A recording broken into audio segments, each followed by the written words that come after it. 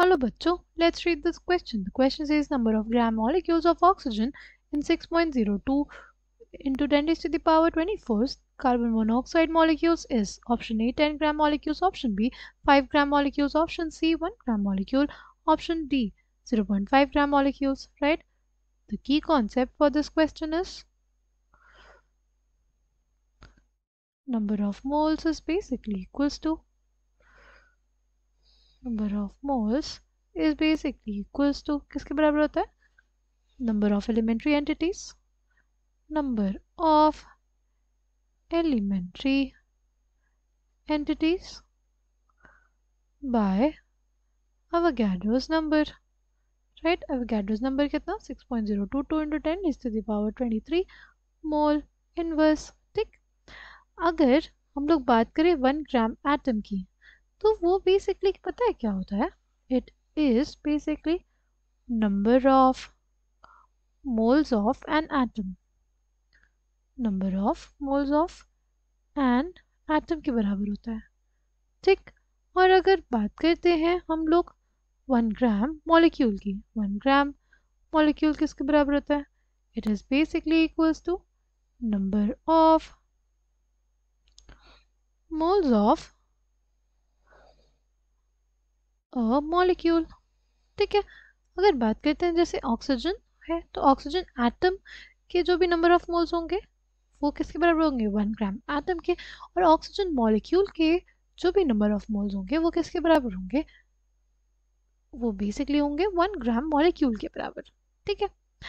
अच्छा सबसे पहले हम लोग क्या करें? सबसे पहले हम लोग निकाल लेते हैं कि कितने मोल्स ऑफ़ कार्बन मोनोऑक्साइड है राइट उनका हमें नंबर पता है पर हमें क्या नहीं पता कि उसके कितने मोल्स है।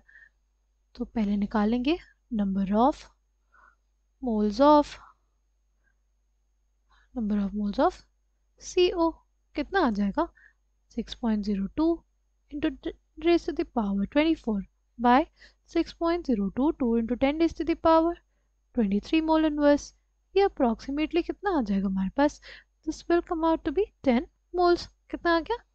टेन मोल्स अच्छा अगर बात करते हैं इसमें, एक मॉलिक्यूल ऑफ़ सीओ में one molecule of carbon monoxide has कितना? Has one oxygen atom right अगर basically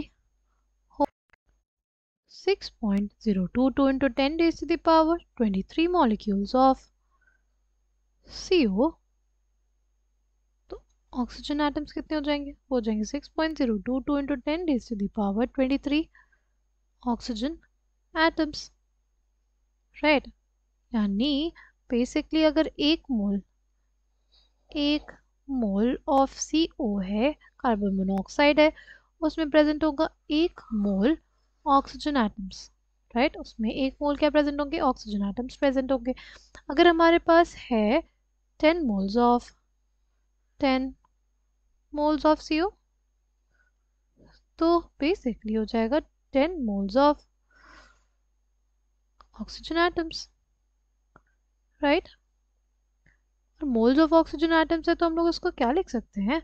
कि उसमें है 10 ग्राम एटम ऑफ़ ऑक्सीजन है ना? अगर मॉलिक्यूल्स के डम में निकालना है तो हमें पता है कि एक ऑक्सीजन मॉलिक्यूल है one oxygen molecules has, an oxygen molecule has two oxygen atoms. ठीक? अगर बेसिकली हमारे पास होंगे 6.02 2 into 10 is to the power 23 oxygen molecules तो उसमें ऑक्सीजन एटम्स कितने होंगे?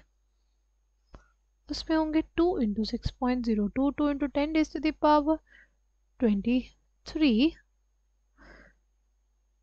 oxygen atoms, है ना?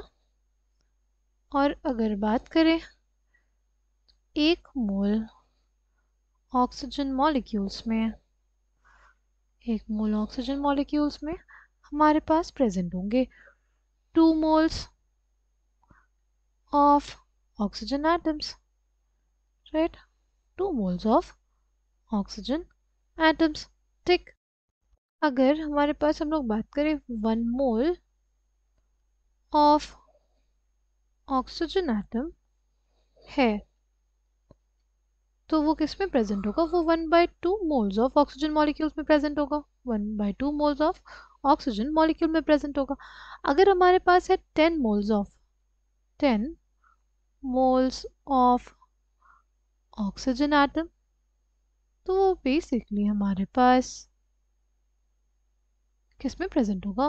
वो प्रेजेंट होगा one by two into ten one by two into ten moles of oxygen molecules में ऑक्सीजन मॉलिक्यूल में. ठीक ऑक्सीजन मॉलिक्यूल में. यानी कितना? ये आ जाएगा हमारे पास five moles of oxygen molecule में।